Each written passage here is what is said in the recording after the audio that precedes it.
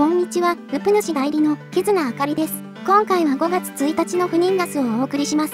メンバーはご覧の通りです。前回にマーリン4連敗を喫し、落ち込みイワシになっていたウプ主、それから2日後、再びアサシンマーリンルールです。なんとかこのルールで挽回するのだ。そして今回の役職はただのクルー、マーリンではありません。安心できるお仕事だね。自分をマーリンに見せかけながら動くことにしましょう。ふえ、みちかさんの名前が今、赤かった。よし、ここはあえて言わないでおこう。うえ、これは、KK さんだよね。これ、KK さんがやりました？いや、違う。ごめん、本当に違う。これ、ミッショナリーです。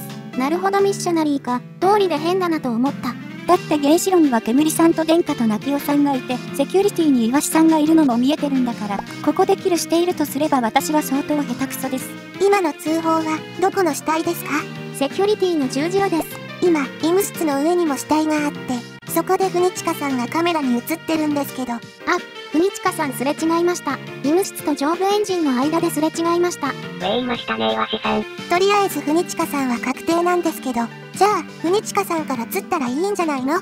そうですね。それならフニチカさんを釣りたいです。それとナギオさんの件で原子炉を直してるんですけど自分、たくさん来てませんでしたっけ？原子炉に。結構な人数がいたはずですね。これ、犯人絞れますかね？私はボタンを押してたので、誰が入ってきたかわからなくて。私もボタンを押してたので、でも確かなぎおさんと、煙さんと、でも煙さんは帰っていったような。いや、煙さんは最後まで殿下と原子炉にいましたよ。そうだったっけ？いいぞ KK さん、やれやれ、いいぞ KK さん。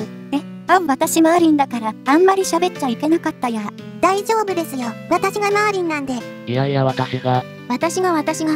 いややっぱり頼りになるなピスタチオさん。いや聞きましたか？皆さん。マーリンをあぶり出しましたよ。一斉検挙。私の相方はイワシさんかちくわかさんかナノさんかナリスさんかピスタチオさんか KK さんか煙さんかピロシコさんの誰かです。よっしゃ、9人ローラーしますか。名前が赤くなっていることを指摘するまでもなかったですね。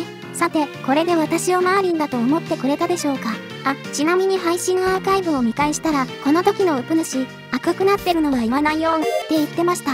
あざとい。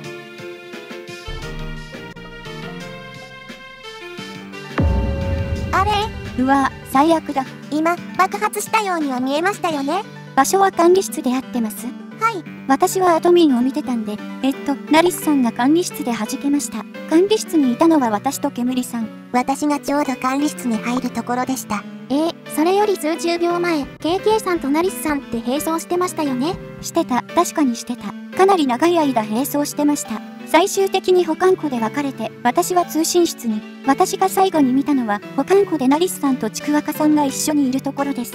ただ、電気室でも4人ぐらいすれ違ってるんですよね。その時に宣教されてたらちょっとわからない。確かに保管庫ではナリスさんといましたが。うーん、電気室周りですれ違ったのは誰だったかな電気室から2人出て、保管庫から2人来たんだよね。もしかしたら私、電気室結構前に出て、原子炉の方に行きましたけど、その時にナリスさん、ピロヒコさんがいたと思います。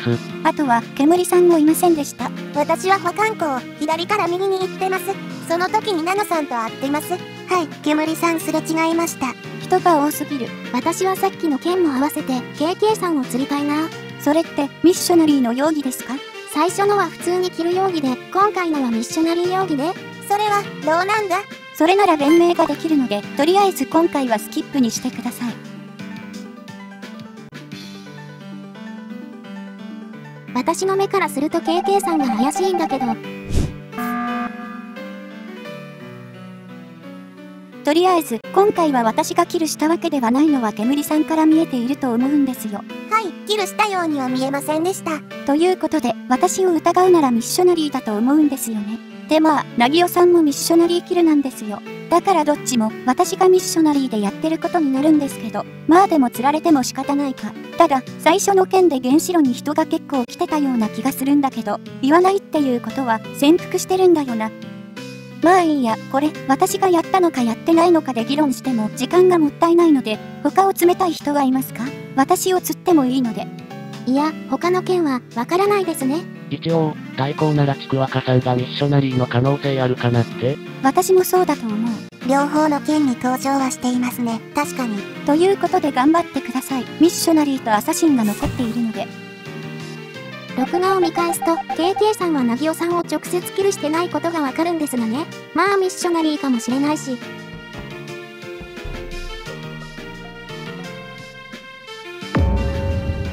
えっと、煙さん、な、な、何か、今電気室に入ってきた煙さんとすれ違ったんですけど、電気室の真下にナノさんが落ちてるんですよ。見てないですか？えっと、あと130秒弱、マーリンが誰か考えていいですか？諦めが早い。いや、誰もいないと思ってたんだけど、少なくともマーリンは KK さんではないです。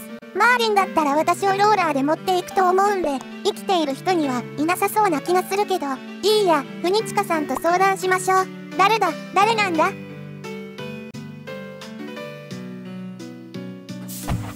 さて、フニチカさんが騙されてくれるといいのですが。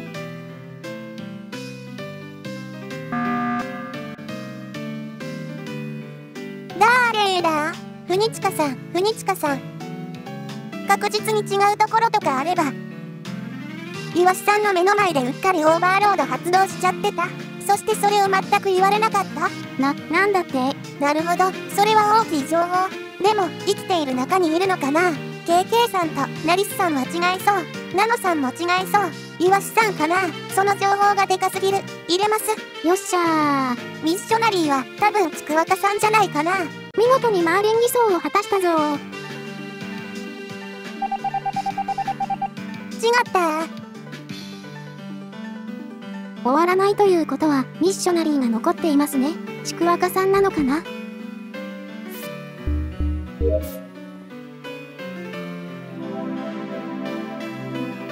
ーい、勝ったぞ。ちくわかさんがミッショナリーだったか。マーリンはナギオさんか。そりゃわからん。初手で死んだのがマーリンとナイスサポーターだったんですね。フニチカさんがキルしてるのをカメラで見て、現場に直行している途中でミッショナリーにやられたんです。私は、フニチカさんが赤くなってるのを見たけど言いませんでした。私も見えてたけど言いませんでした。